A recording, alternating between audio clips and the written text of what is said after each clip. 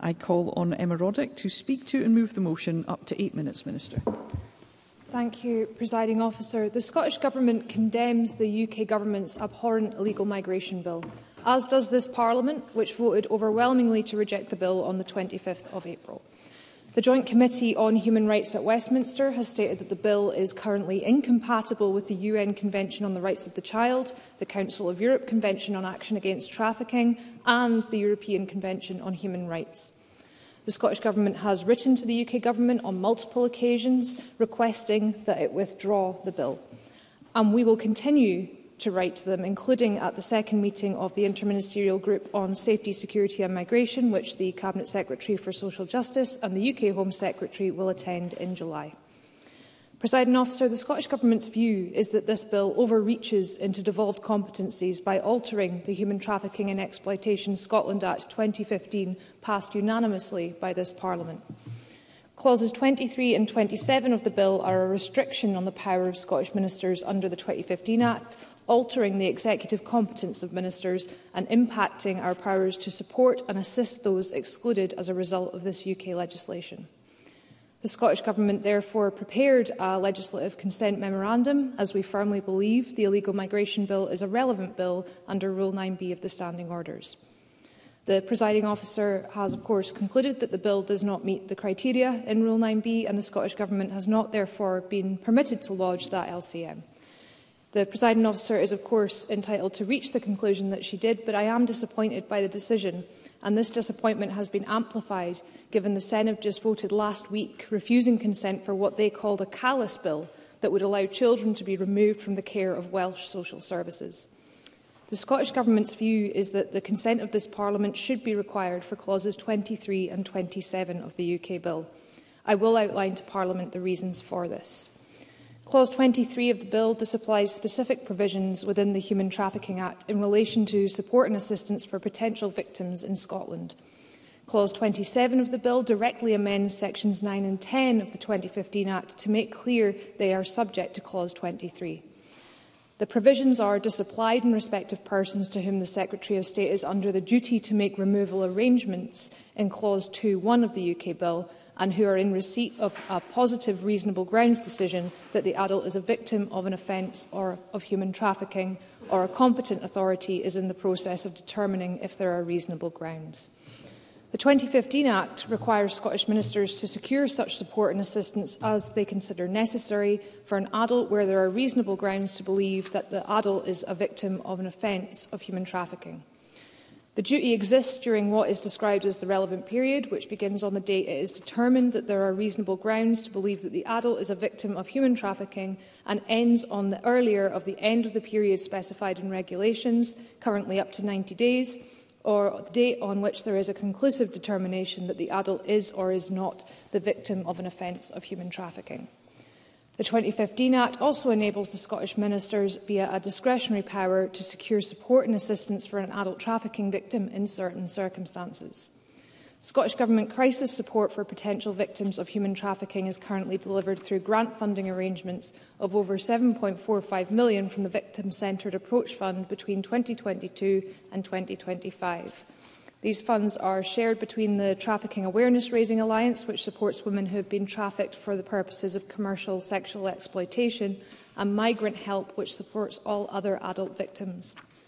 Support can include accommodation, assistance with day-to-day -day living, medical advice and treatment including psychological help, language translation and interpretation, counselling, legal advice, help accessing other services and, if the victim wishes, repatriation the UK Government's illegal migration bill will prevent delivery of this support to people within scope other than in, in a very narrow selection of cases where there are compelling reasons for an individual to remain in the UK to provide cooperation with a public authority in connection with an investigation or criminal proceedings related to their exploitation.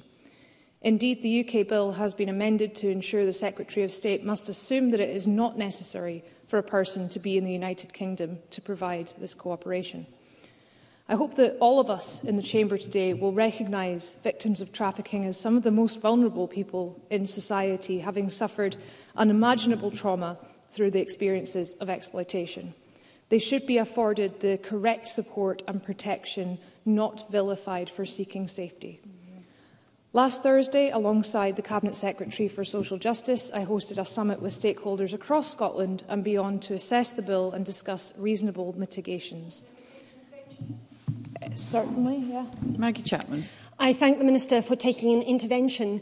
At the summit last Thursday, we heard very, very clearly from the third sector and other stakeholders their concerns, particularly around the non-derogable obligations that they and we have under international human rights uh, laws, including the European Convention on Action Against Trafficking.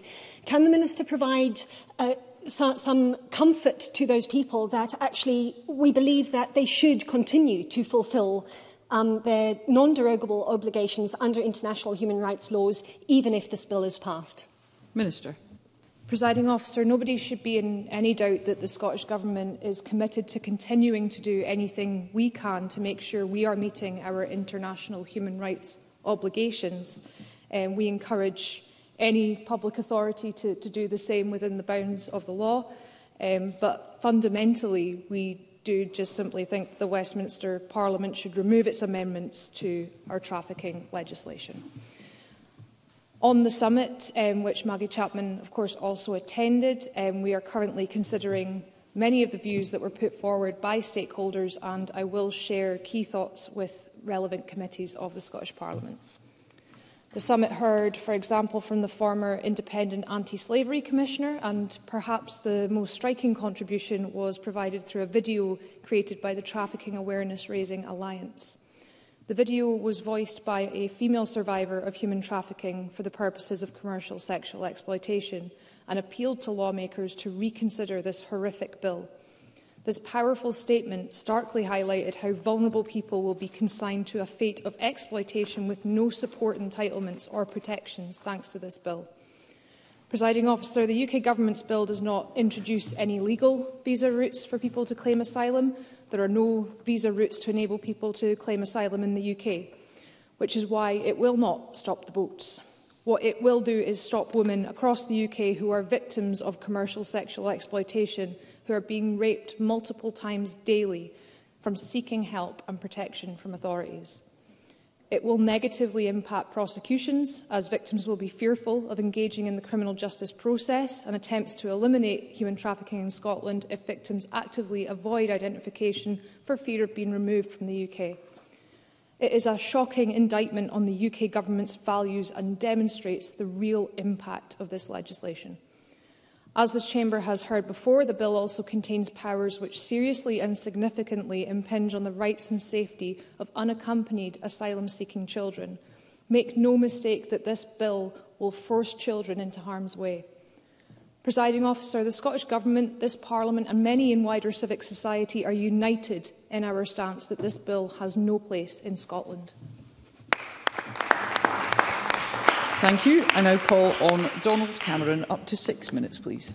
Um, Presiding officer, thank you. And can I begin with a couple of important points, procedural points, about how we have got here. I make no apology for, for making these points, because this was meant to be a debate about legislative consent. Um, but yesterday, the Scottish Government's motion revealed that this is not indeed an LCM debate, as we're used to having, uh, but they have not been permitted uh, to lodge a legislative consent memorandum, and the minister's motion says as much. But let us be absolutely clear uh, who uh, has refused that permission, because it's not the UK government, um, because lodging a memorandum is, of course, nothing to do with them, but the Scottish Parliament.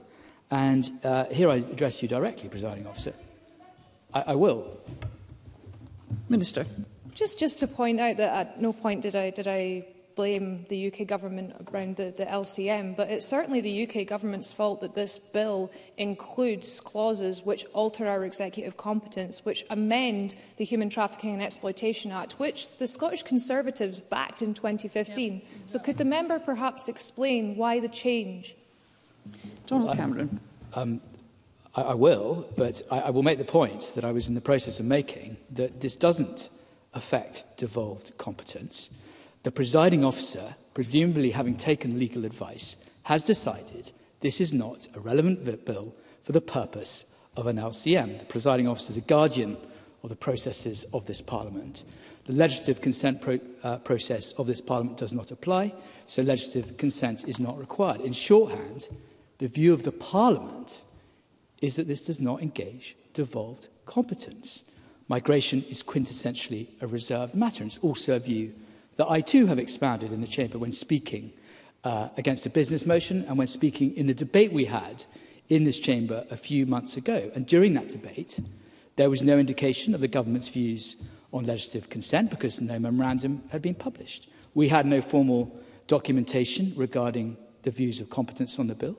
I made the point that we did not know whether the government thought that devolved competence was engaged, whether it believed that legislative consent was necessary, if it believed that consent was necessary. We, we did not know why or in what way. And I um, asked, uh, note the Cabinet Secretary, who I see sitting beside the Minister, uh, who said that she, um, she confirmed to Parliament that they will shortly uh, lodge a legislative consent memorandum on the bill.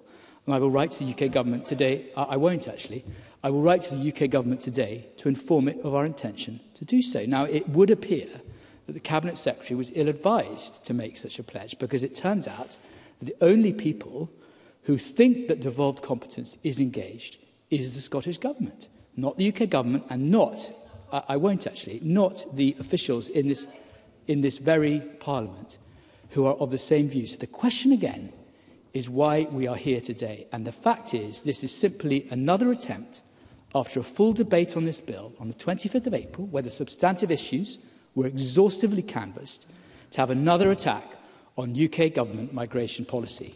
So far, so predictable. Now, as I said in that first debate, it would, of course, be better if the government was using this time to instead debate the real issues facing Scots, issues that this Parliament actually does have competence over. NHS waiting lists, drug deaths, the widening attainment gap in schools, numerous transport failures, including the mismanagement of the delivery of new ferries to Scotland. Yes. Cabinet Secretary. I'm grateful for the opportunity. Um, Can the member um, suggest when he may wish to get on to discussing um, the very women which the Minister discussed in her opening statement who are impacted by this bill, who were protected by devolved legislation that the members party voted for and are frightened about what's and that is our responsibility as a government and a parliament to protect the most vulnerable in our society. It's a shame he doesn't think so. Donald Cameron. Well, I look forward to uh, the summing up of this debate because, frankly, that is no answer to the question. This bill is not within the legislative competence of this Parliament. Now, I will turn to the issues that were raised. The UK government has introduced this bill to make sure the only route to asylum is in the UK is a safe and legal one. Since 2015, I point out the UK has offered sanctuary to over 580,000 men, women and children through safe routes like refugee family reunion and the UK resettlement scheme, as well as welcoming people through the country-specific routes for Ukraine, Hong Kong, Afghanistan. Not, I've taken two interventions so far, I'm not taking another. Ukraine, Hong Kong, Afghanistan and Syria. The UK government has made it clear again and again that the bill is focused on illegal migration. It seeks to address the growing instances of people smuggling and to reduce unsafe migrant crossing. The number of people arriving illegally in 2022 was more than 45,000, a 60% increase on 2021. And by restricting illegal migration, there will then be greater capacity to provide a safe haven for those at risk of war and persecution. And the bill provides for the government, the UK government, to commit to resettling a specific number of the most vulnerable refugees from around the world every year. The UK government has been responsive to concerns raised during the bill's progress in the House of Parliament. It's made a number of amendments at report stage, including enhancing the safeguards for unaccompanied children by setting out limited circumstances in which removal of children will be exercised, such as the purposes of family reunion or removal to a safe country of origin. Amendments were also made to the bill's detention powers for unaccompanied children, which will now only permit, be permitted for purposes prescribed in regulations made by the I must ask you to conclude, For those Mr. reasons, Cameron. we will be voting against the Scottish Government's motion at decision time. Thank you. And I now call on Paul O'Kane. Up to five minutes, please. Uh, thank you, Presiding Officer, and I rise in support of the Government's motion in opposition to the UK's illegal migration bill. Um, my party have been steadfast in their opposition to this bill, voting against it in the House of Commons, and in April when we debated the bill in this Parliament, uh, articulating clearly our opposition to it. Let's uh, make no mistake, the illegal migration bill is brutal, pernicious and totally ill-considered. It challenges the fundamental human right to seek asylum, which is enshrined in the 1951 United Nations Refugee Convention. In conducting their legislative scrutiny of the bill, the Joint Committee on Human Rights, as we've heard already, comprised of a cross-party uh, politicians from the House of Commons and the House of Lords, concluded that the bill breaches the UK's international human rights obligations, including the European Court of human rights. Indeed, even the Home Secretary herself has acknowledged that there is a more than 50% chance that this legislation will break international human rights law. And even today, we have seen that the government doesn't even know how much their absurd and cruel plans will cost. It's clear that the legislation will, despite repeated warnings, remove the safeguards for victims of modern slavery and human trafficking, exposing people to a greater threat of harm, or as is too often the case, death. The Modern Slavery Act gave hope to victims. This bill, the Illegal Migration Bill, removes that hope. I genuinely believe that if enacted as is currently proposed, the bill will leave more people, more men, more women and children in slavery in the UK. Those are not my words, presiding officer. They are the words of former Conservative Prime Minister Theresa May. And that is em emblematic, I think, of how far and how quickly the Conservative Party have lurched to the right on these issues. And I would urge the Conservative members in this chamber, because I believe um, the front bench, front bench spokesperson to be a man of integrity uh, and a good man, to use his voice and to use their voices to oppose this immoral piece of legislation, even at this late stage as it um, concludes its parliamentary process at, at Westminster. How can they justify supporting a bill so lacking in such basic compassion, empathy and humanity? Of course, presiding officer, we've heard already, this debate is focused on the impact of the legislation in a devolved context, so I will turn to that uh, in my remaining time. The government motion highlights that this bill will have a profound impact on devolved le legislation, amending the Human Trafficking and Exploitation Act eh, uh, 2015, which was agreed across this Parliament.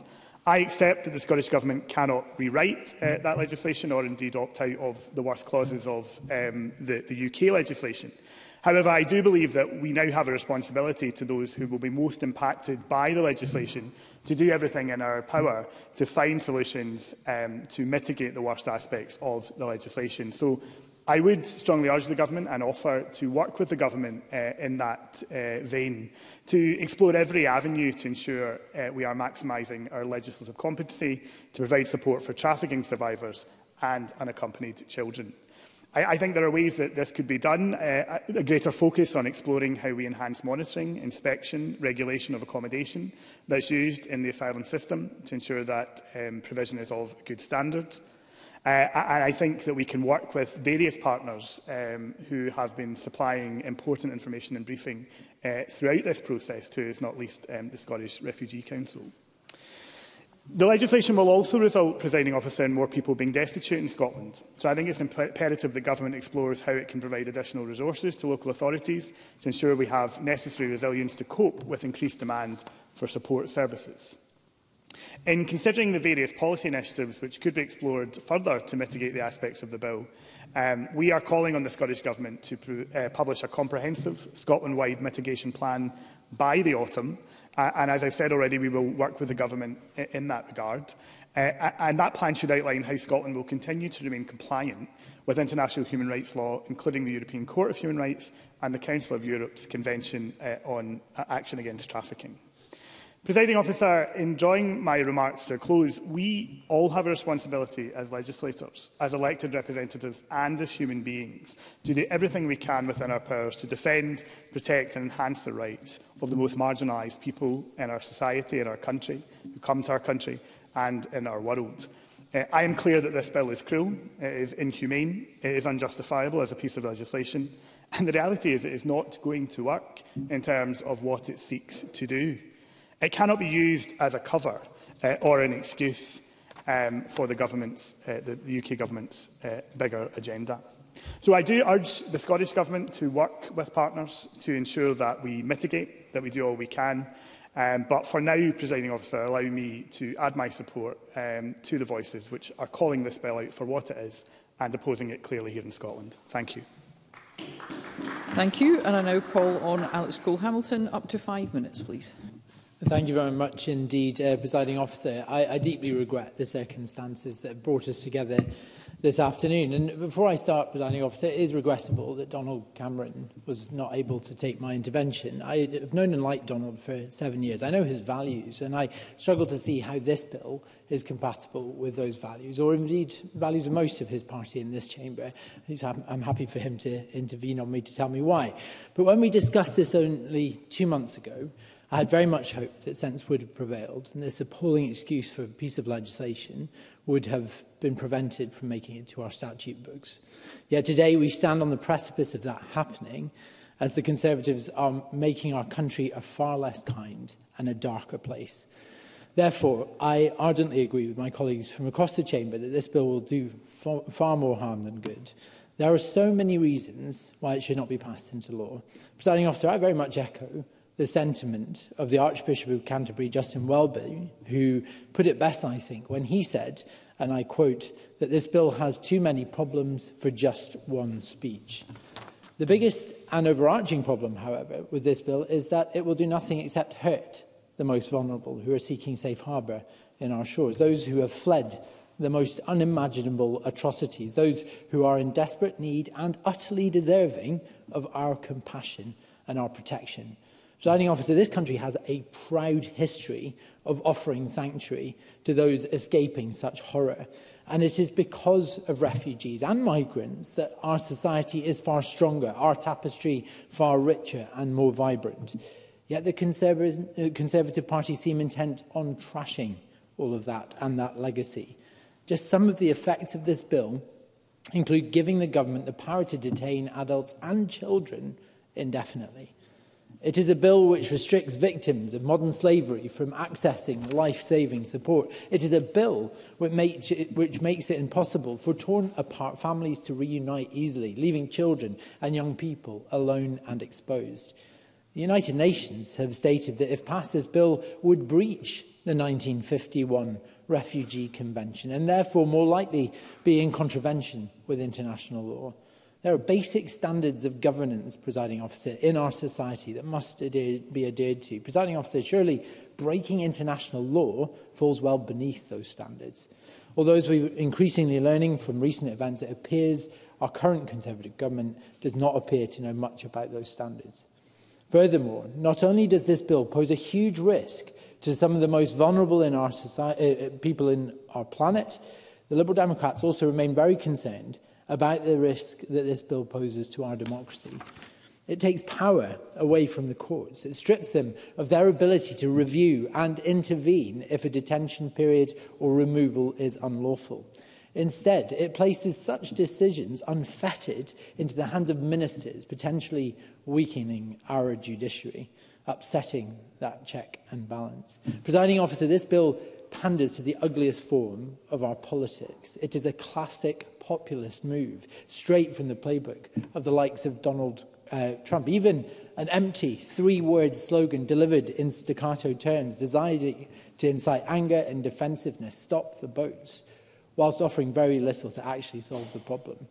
Signing officer, I was feeling especially cynic, if I was feeling especially cynical, I would muse that this was a very deliberate tactic to distract from the fact this Conservative government is unfit and incapable of running this country and looking to punch down once again on the vulnerable and the dispossessed, a fact that the British people are becoming increasingly aware of. It is therefore saddening that there are those in this chamber that support such cheap politics. When we last debated this issue in this parliament, every single Conservative MSP in this chamber voted against the condemnation of this bill. Once again, showing that Douglas Ross and Rishi Sunak are one and the same, content with exploiting refugees fleeing death and victims of human trafficking to pander the, to the furthest extremes of their base. The Liberal Democrats have always believed that we have a moral duty to offer help to those who need it, which is why we condemn this bill in the strongest possible terms.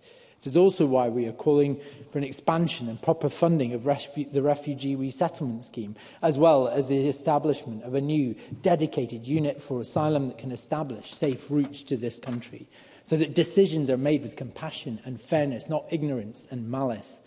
To conclude, presiding officer, we must ensure that we honour the UK's long tradition of offering home and harbour to those who need it most. Thank you.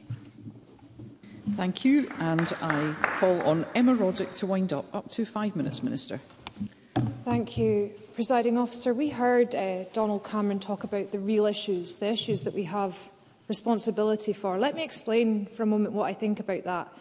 We have a responsibility to victims of human trafficking. We have a responsibility to unaccompanied children in this country. And as Paul O'Kane said, we have a responsibility to protect and enhance human rights for all. It would be lovely if we lived in a world where we could rely on safe and legal routes into the UK. We cannot, in large part due to the UK government, but also because of the human trafficking trade. We are talking here about people who have undergone horrific treatment and unimaginable trauma, who often have no idea how they got here or where they are, let alone have any influence over what method of transport they use. It is insincere and cruel to approach this debate with an assumption that everyone has control over their entry here. And what this legislation will do is prevent people with legitimate claims to asylum from accessing it for the very same reasons that they need it. It will send a message to those under the control of human traffickers that it is not safe for them to speak up and ask for help. Now, we are committed in Scotland to upholding human rights and enshrining them as far as possible within Scots law. And it's been incredibly frustrating, to say the least, that our voice on this bill has been ignored. And it is no surprise that the UK government is rushing this legislation through to avoid scrutiny, because it does not stand up to scrutiny. We are extremely worried by what this bill will mean for vulnerable asylum-seeking children who flee to the UK for a place of safety. And we agree with the UN Committee on the Rights of the Child that the UK government must repeal all draft provisions that would violate children's rights.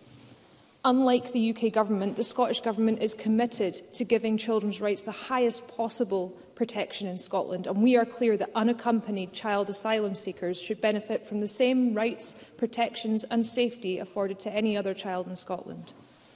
There are some issues which are so important and fundamental to our humanity that people expect and they deserve cross-party agreement on dealing with them. Human rights should be one of those issues. Scotland's human rights-based approach to supporting victims of human trafficking should be one of those victims. So, sorry, one of those issues. The Scottish Conservatives agreed with me on that when they voted, along with the rest of the Parliament, unanimously for the Human Trafficking and Exploitation Act. They agreed that this was bigger than party politics back then. And I hope today at least some of their members will consider standing for what they know is right here and backing our position that the illegal migration bill should not amend the Act or limit our ability to help victims as laid out in the Act that they supported. I will end, presiding officer, by saying I've been grateful for the engagement of stakeholders to date on this bill and its impacts. And it's a sad and difficult truth that under current constitutional arrangements, we don't have the power to stop, amend or fully mitigate the very dangerous impacts of this bill. But we remain committed to doing what we can with the powers that we have. And I will continue to work with those who have an interest to seek out any mitigations that we can implement to make sure Scotland, if not the UK, is a place of safety and support for those who need it the most. In the meantime, I hope that colleagues across the Chamber will join the Scottish Government and key human rights organisations in Scotland in supporting our motion today and telling the UK Government that its bill and its hostile environment have no place here. Thank you. That concludes the debate on illegal migration UK. Legal Migration Bill, UK legislation. It is now time to move on to the next item of business and we'll do so in a moment.